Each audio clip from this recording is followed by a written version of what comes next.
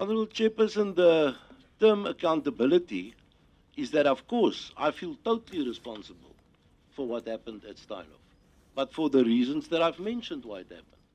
I chose the wrong partner. We went into territories when we shouldn't have gone into territories. But the discussion up to now and the allegations were fostered around accounting issues. And therefore, I participated and gave my full co- cooperation for two years in terms of those issues.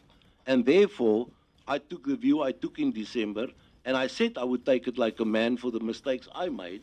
And I've lost uh, my whole career that I spent with Steinhoff.